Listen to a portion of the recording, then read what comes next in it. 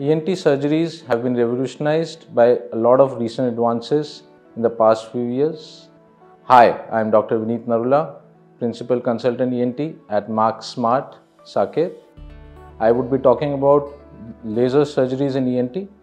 Laser has come along a long way in the last few years in helping the surgeons in performing various ENT surgeries like uh, stapes surgeries in otology, laryngology in removal of vocal cord lesions like polyps, nodules and intracordal cysts and in airway obstruction surgeries like in subglottic stenosis.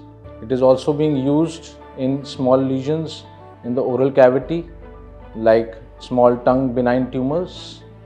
The main advantage which laser gives is precision and accuracy with less damage to the outside surrounding structures which helps in a faster recovery and uh, more patient satisfaction and so the hospital stay also reduces.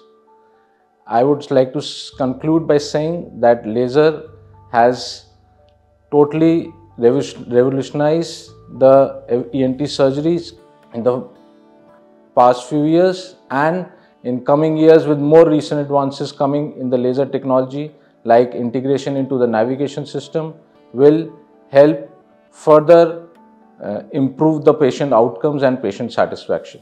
Thank you.